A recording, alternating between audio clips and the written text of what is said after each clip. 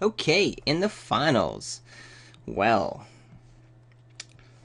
isn't this a hand? Five line hands certainly not good. I am on the draw, so should be able to mulligan, but they're both removal spells, right? Right. Well, I'm gonna mulligan. I've learned not to keep five land hands. This kind of sucks, but one land gets us a divination. If it's a swamp, we get a two three. It's barely going to five. If we draw more lands, we get an Aerie Worshippers. Pretty not awesome. Ooh, a blue deck. A blue aggressive deck, it would seem. Not what I want to be looking at. Ooh, but I did get a two drop, so that helps. We'll at least get to put some pressure down ourselves. Ooh, a mirror? That's fascinating. Ridiculously fascinating. This card does not seem to go in black. I shouldn't be complaining, nor should I be really criticizing, considering my deck is probably just as wonky. Maybe there's a lot more bestow going on with this with this guy. Read the bones? Okay. Not awesome, but I got my divination. If I'm a little bit on a race schedule, then I think I'm going to win that one. Suggestion is that this guy wants to be attacking at some point, which should happen now. Like right now. Go. Attack. There you are. Can't block. We're just going to put our dude down instead of divinate. Even though I do want to have my land drop next turn, um, I think just progressing the board will be nice. And I might just naturally grab her anyway.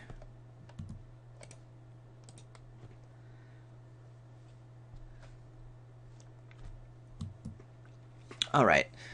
What you got? There's no bestow at 4, that matters, but turn 5 is going to start getting interesting, right? Gonna mill me? Two... No, just one good card. Feast of Dreams. But my Mnemonic Wall was not meshed with, so that's cool. Hey, we get our Aerie Worshippers. Alright, so we're in pretty decent shape here.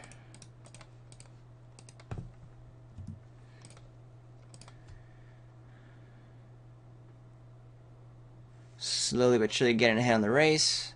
Might even be able to attack with these these Aerie Worshippers and the Fellhide Minotaur next turn. Get some damage in, get a trigger. Ooh. Well, no, isn't that a thing? What a bummer.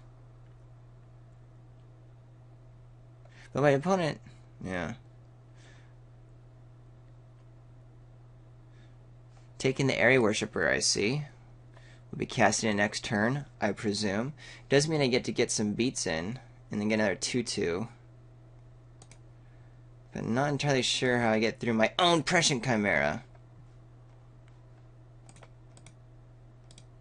Let's start with the divination, shall we? Ooh, Voyage's End. That's how we'll deal with it. Heh heh. So yeah, my opponent's going to cast it next turn. And then we'll Voyage's End it back to our hand.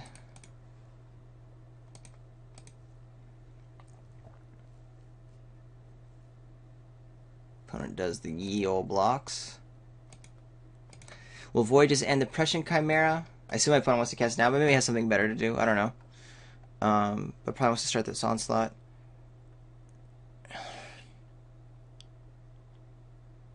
No. That's really frustrating.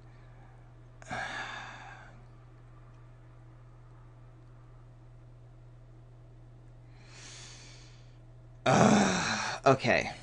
Well, my opponent's not playing the Chimera, so that's cool. It gives me a turn to get a 2-2 flyer on and do another attack uh, at least with the Aerie Worshipper. We're definitely going to go ahead and bounce the Return Centaur then. That means my opponent gets Oracle's Insight. Yeah, we're going to go with Tempo. This game's a tempo game.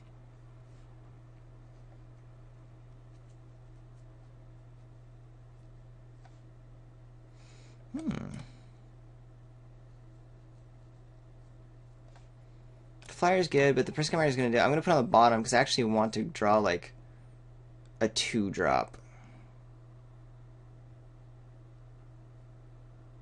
As of right now. So my opponent gets the Oracle's Insight.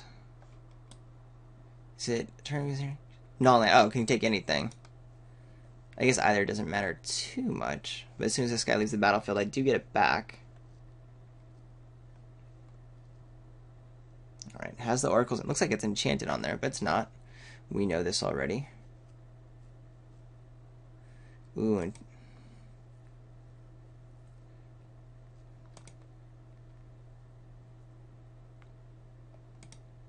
That's cool.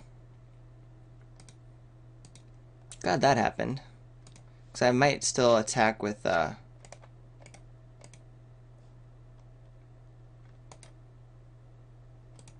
Oh, I want to pay three. I, yeah, there we go. Ooh, Mnemonic Wall, that'll be great. Alright, cool. So we're not in super dire shape. If I attack him with Aerie Worshippers, we're good, because it's only 3 points of damage. Attacking with Fellhide Minotaur, kills the Brain Maggot. He dies, but I also get my Oracle's Insight back. But do I even want my Oracle's Insight back? I don't think I do. But it does force through two more points of damage, and we're on this race game. I actually like that quite a bit. I like being that aggressive. And I don't think my opponent's going to one-shot it off.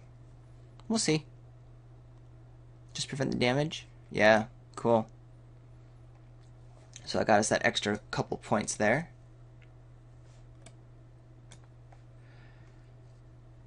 Definitely going to make another bird token just to get those birds out. So once the Prescient Chimera is down, then we'll play the Mnemonic Wall. We'll get our Voyage's End back, bounce it back, fly in, and win. That's where we're at at the moment. Although six can get hairy pretty soon. Although my opponent doesn't play a fire at six from hand. Ooh, that's good, actually. Because my opponent's not choosing to play My this can be any time, right? Turn your hand, you choose an online card from it, but there's exile your hand. You may cast a card from as long as it remains exiled, you may spin it. Yeah. So my opponent can do that whenever. Later on. Took my aerial formation. This mnemonic wall is actually getting pretty good. I get a feast of dreams with it too. My opponent's pinging me away. Pretty sure I would have waited to bestow on the Triton Shorestalker or whatever, but whatevs. Yeah, I'll take my free card. My free flyer. Ooh, and a follow-up? I really like that. So now, unfortunately, the Aerie Worshippers cannot attack, but I have 4 power going through in the air. That's still okay to get this game online. Especially now that there's just a bunch of lethal dudes hip-hop happening for next turn.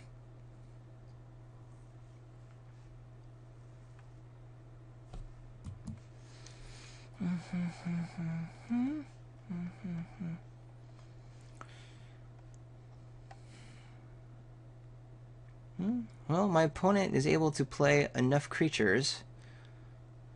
Ooh, and a Gray Merchant. One, two, three, four, five. Dude, I have flyers, don't they? Can I kill you? One, two, three, four, five, six, seven. Yeah, I can kill you.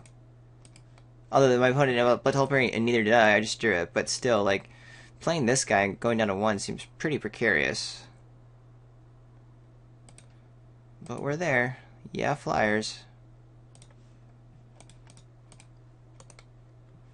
Boink. Alright, the mirror match, my opponent's going long. Hmm. Flyers seem good against my opponent. Alright. There's a number of targets for Viper's Kiss, but I don't think any of the ones I saw I care about. There was the maggot and the uh, the unblockable dude. So it's only if there's really something nasty that my opponent. There's just something that just doesn't work well against my opponent. But I think the cards are good. This might actually be a grinding game to Oracle's Insight I want.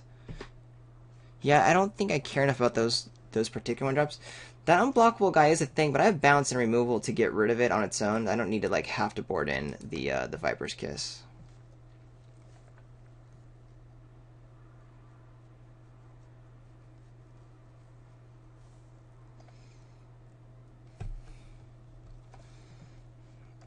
Alright, let's definitely a keep.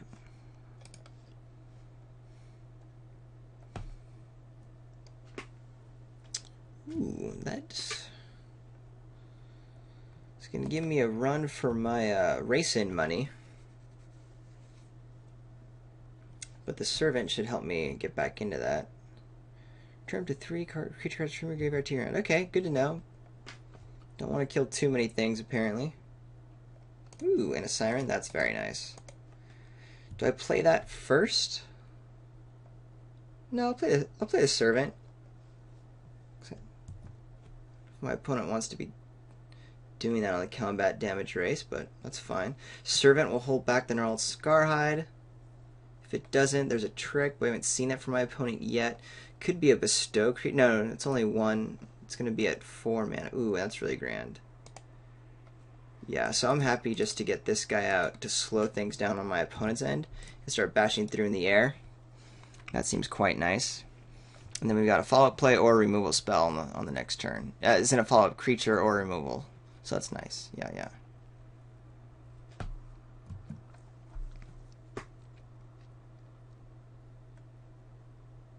I might even just let my opponent do two damage to me if opponent were attacking and indicating a, uh, a combat trick. Ooh. Warwing Siren versus Warwing Siren. And a Dark Betrayal. Well, would you look at that? Okay, now I'm a little worried. Hmm, just a little bit. What do I draw?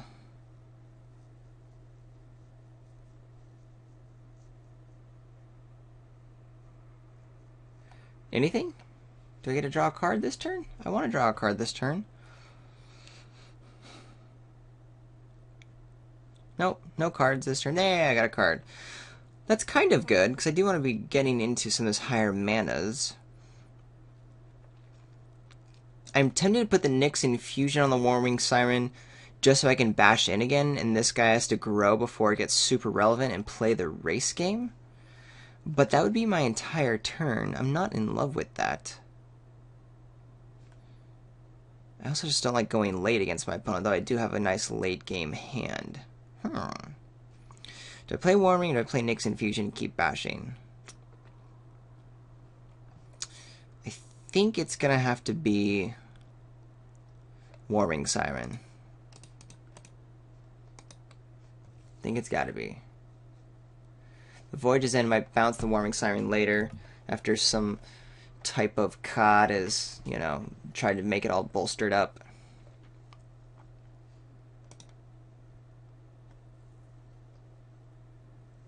I want to draw an island. Play the Chimera. That'd be nice. That'd be super nice. What else you got? Ooh, Corsetides. Alright, Flyers.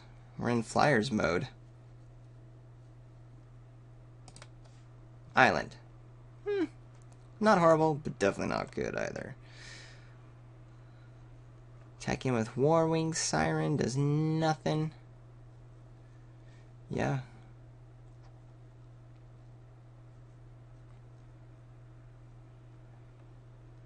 I think I'm just going to do a Nyx Infusion on the Corsetides, because it can actually bash through right now, and that's what I'm most worried about. So might as well do that while my opponent can. My opponent can't really quick get a whole lot back at the moment. Just keep the status quo one for one a little bit. Till we draw that second island. Then we're in good shape. Tap the island, even though I have Triton Tactics, to kind of not suggest that. Ooh, yeah, this is where Voyages end. It's going to have to come in because now I'm taking a bunch in the air. Man, if I just get one island, it'd be great so I can play my 3-drop and at Voyage's End. Uh, Griptide's okay because at least it uses my mana all the way. So we're going to bash in for 3, but then this Gnarled Scarhide gets to come through. So maybe I do just keep the War... Because I'm behind, I have to keep the Warwing Siren back. Yeah, we'll just bash in for 2 right now.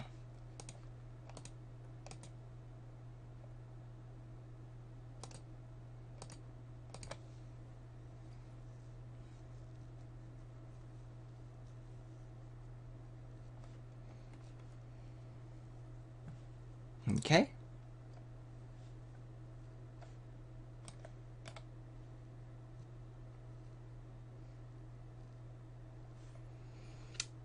Cast ability triggered on attack. Targeting who though? Isn't it me? Do we know yet? Oh, self. I could have put the the siren on there. That's what I was looking for. If my opponent was targeting himself, I would have easily have gotten rid of the uh,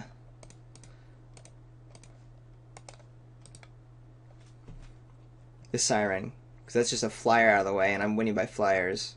Glad that Gray Merchant got gone though. That's pretty cool. Yay! And we got this dude. All right, cool freaking beans.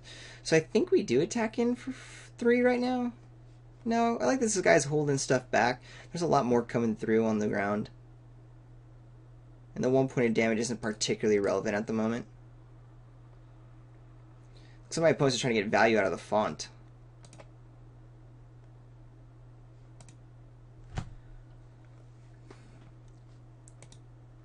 And I do want to preserve my life total because it looks like this Gray Merchant is going to come back soon.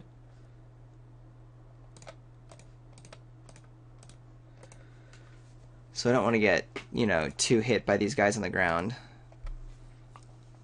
I like that next turn I have Fellhide Minotaur to keep the ground game going and have a Voyage's End. Three target there's three, right? One, two, three, yeah. So my opponent can blow the font my opponent wants to. But it's so slow. I mean, my opponent's gonna be pretty far low on life by the time that actually happens. There's that siren we knew about.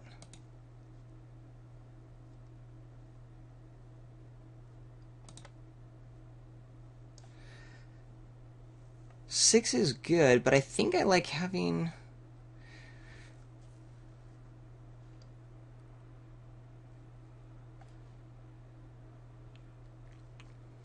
considering just bouncing the Warwing Siren, getting in for five this turn. Maybe even six. Two two turn clock. My opponent can't blow and do this at the same time. But then I only have one blocker on the ground. So I'm taking one, two, three, four, five, six myself on the crackback. Which puts me really low.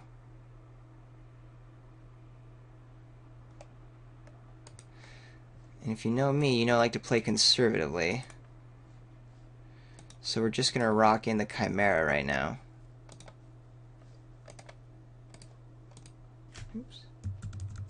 I want to leave two blue up.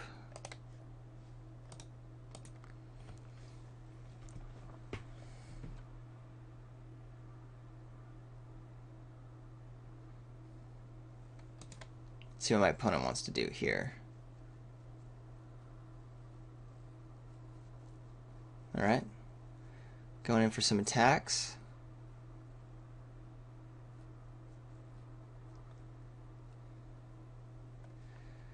We'll happily do like. Thing is, Voyage's End isn't really Grand Gnarled Scarhide. Well, I guess it's okay because th things can't block. But we're gonna definitely try to uh, eat some some dudage here.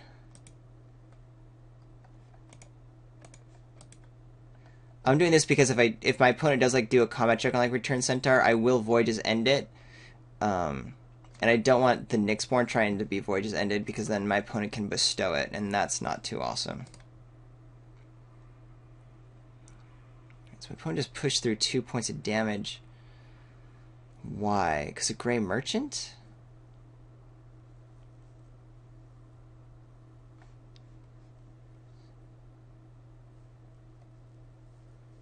What's my opponent doing here? Yeah, so my opponent's grabbing the Gray Merchant. Gonna gain some life.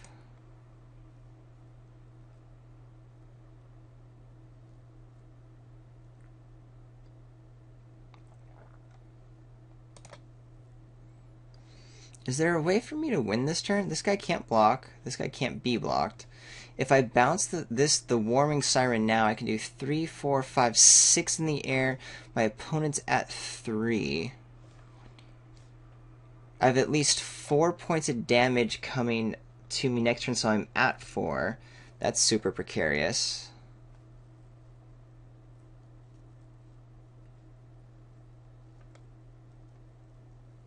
So I'll only be able to block two dudes. Huh. This is tricky.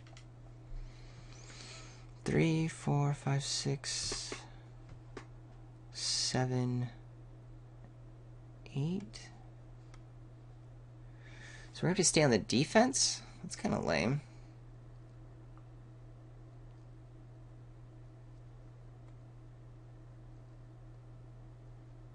I do think I need to uh, Voyage's End this turn.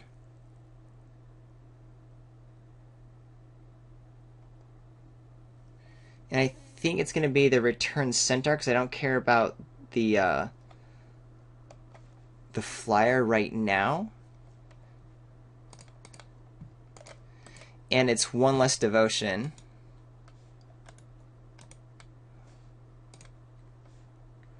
Returned Reveler. I don't want another land. But at the same time, like, I can just play a Benthic Giant if I'm going to play a Returned Reveler. So it's not that relevant to the board state. Ooh, Triton Tactics. That might be exactly what I want.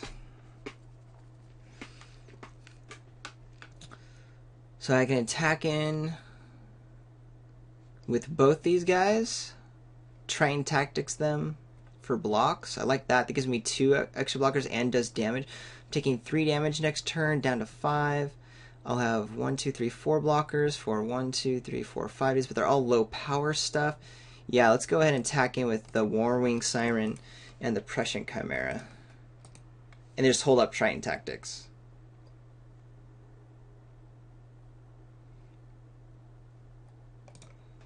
Opponent takes three, prevents that one damage. Triton Tactics wouldn't have killed it, so there's no real reason for me to do that. Opponent's going to go back up to nine and have still a good board state, but I'm hoping to get my opponent with this Triton Tactics kill some of the creatures here.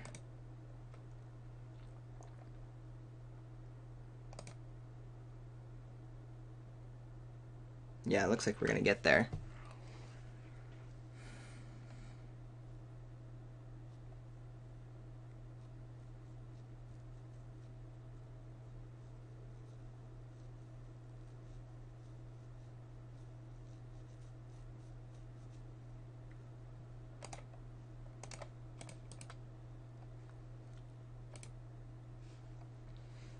And the scry's nice.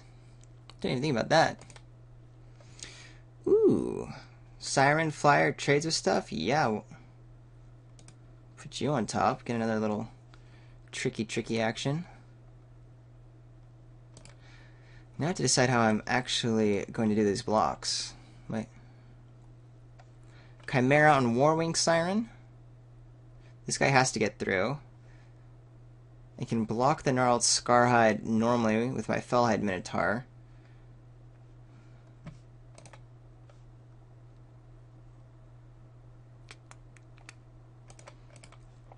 So if I go there, that's like that. And I can just prevent a bunch of damage going this way. I like that quite a bit.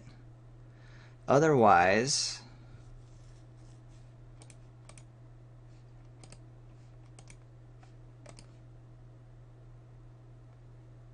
there any way for me to kill something else? It's pretty much the best way, right? Because I definitely want to kill a Warwing Siren in the air. I'd have to double block anything else, because they're all two. And I don't want the Vapor Kingdom. Yeah, so I think that's what we're doing. Like that. Take two.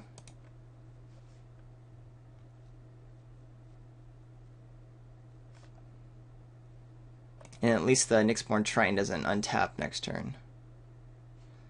Where's my Warwing Siren? It's like, oh, I see what's happening. There's a weird little modal glitch. I think that got us there. So we'll attack on the flyers. Three, four, five, six, seven. Go down to my opponent's down to two.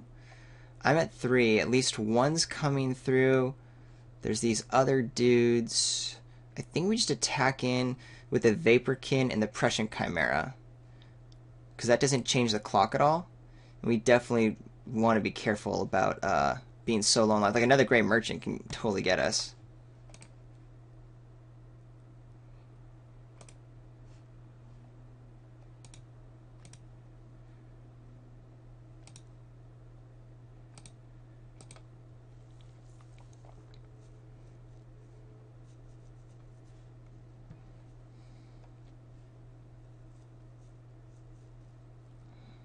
My opponent has outs. Things like Counselors, Another Gray Merchant, sorry, Counterspells. Well, maybe not Counterspells. Counterspells and something. There's that one returned Centaur in hand, plus two other cards. Unblockable stuff. You know that uh that four four Alciad comes down, or is it a Dryad? I forget. But it's the four four blue dude that costs five, I think and then make something unblockable. We already have one unblockable, plus the Gray Merchant unblockable would get it. There are options. Oh. Oh! You control a chain of creature, chain creature gets plus one plus one, and it has flying. Bummer. What a good card. but my opponent can't attack with it, right? Because it has summoning sickness for my opponent. doesn't have haste? No.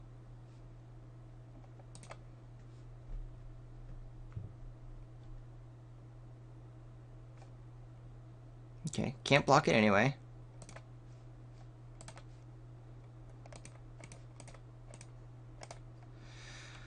Oh, can we get there? It's a 3-5? Ugh. If I attack with all the flyers, three, four, five. Yeah, we're there. Yay!